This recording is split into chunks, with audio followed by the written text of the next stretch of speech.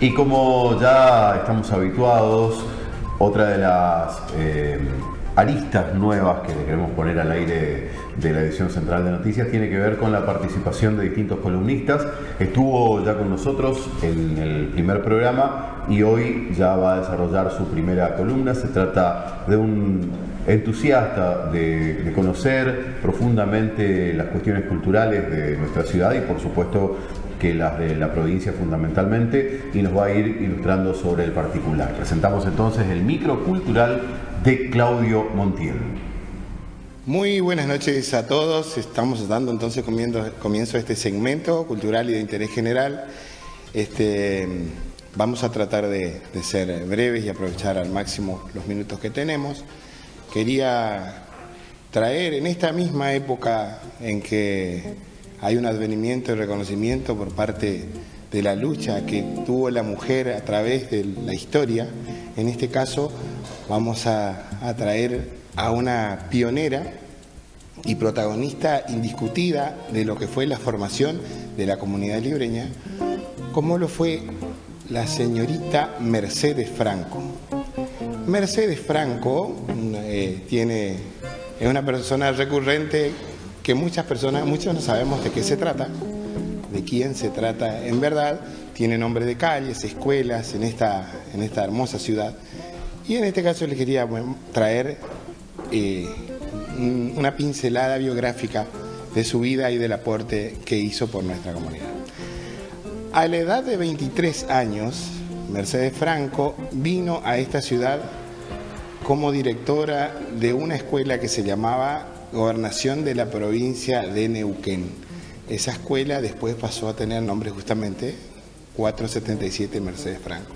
Esta joven entusiasta, en el año 1911, en plena época de dominio patriarcal, como se dice,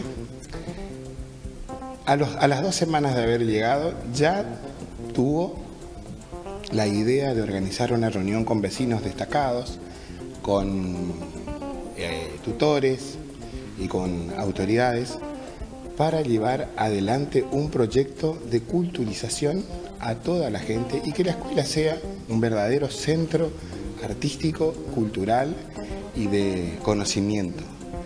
A tal punto que con esas primeras reuniones logró que se forme la Comisión Protectora de la Educación, eh, que la puso por supuesto ella como presidente, porque la gente la eligió unánimemente, y con esa comisión formó lo que después sería la Biblioteca Popular Sarmiento, después de unos años de bregar y de trabajar con veladas artísticas para recaudar, fondos. Eh, los fondos recaudados ahí también eran destinados a la alimentación de los niños con el apoyo del regimiento de caballería que existía y para los bancos y este, pupitres de la escuela y para la compra de libros porque era muy magro eh, el apoyo que tenía por esta cuestión de que era una joven soltera y mujer. Eh, asimismo, ella nunca se amedrentó, siguió adelante con sus propósitos y llegó a escribir a partir de 1931 un manuscrito donde consigna gran parte de la historia de lo que fue Paso de los Libres. ese manuscrito es realmente un tesoro historiográfico por lo que representa y por las pinceladas y la prolijidad y el apego, que hoy sería científico, el apego a la verdad de lo que ocurría en ese entonces. Ese material historiográfico que escribió de puño y letra hablaba sobre los 108, el cruce de los 108 valientes, eh, de otras, otras temáticas como costumbrismo, como los aguateros de la época, este, sobre la historia y desenvolvimiento de la iglesia este, San José y otras instituciones, y realmente es algo muy valioso. Eh, esta educadora incansable, después de más de 30 años de docencia, eh, y aquejada por una enfermedad grave, eh, se jubiló pero siguió en compañía de los niños enseñando catequesis en, en, la iglesia parroquial.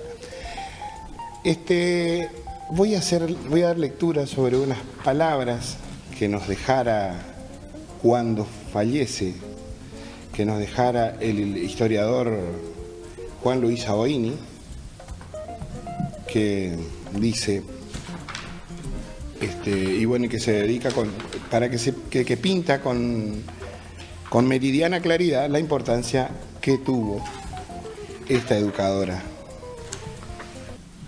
A pesar de que, nos dice Juan Luis Aboini, a pesar de que su cuerpo fue presa de una cruel enfermedad, su espíritu recién fue doblegado por la muerte el 22 de mayo de 1957. Una vez conocida la historia del deceso, fue numeroso el público que desfiló por la casa mortuoria, especialmente los vecinos y ex alumnos. Al día siguiente, aproximadamente a las 14.30 horas, se dirigió el cortejo fúnebre a la iglesia San José, donde se ofició una misa de cuerpo presente. El comercio libreño cerró sus puertas ese día. De la iglesia al cementerio el cortejo pasó por la calle Colón, donde los escolares formaron cordones arrojando flores al paso del féretro. También había niños en la entrada del cementerio donde la banda de música de la guarnición militar Paso de los Libres ejecutó la marcha fúnebre, mientras eran conducidos los restos mortales. Frente al panteón, distintas personalidades hicieron uso de la palabra para despedir a aquella maestra ejemplar. Eh, es interesantísimo porque este historiador eh, guarda incluso las palabras y eh, las emotivas palabras que dijeron actores culturales, sociales, políticos de la época y que dan una, una idea muy clara de lo que representó la señorita Mercedes Franco para nuestra comunidad.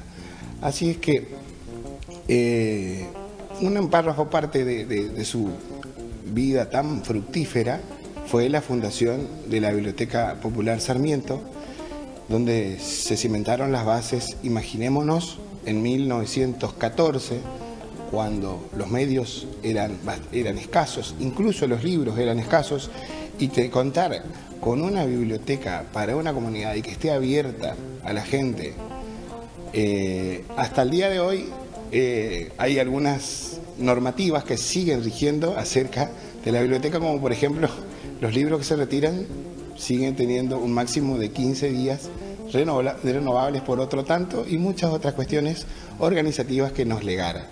Eh, también ella fue la que puso el nombre Domingo Faustino Sarmiento. Alguna vez hubo alguna idea de cambiarle el nombre, pero se trató siempre de respetar esa eh, cuestión eh, originaria de, su fundadora. Esto ha sido entonces el aporte y el segmento semanal y trajimos a esta incansable y decidida protagonista de la historia de nuestra ciudad. Seguiremos entonces la semana que viene con alguna otra pincelada eh, histórico, cultural, este, y ya veremos.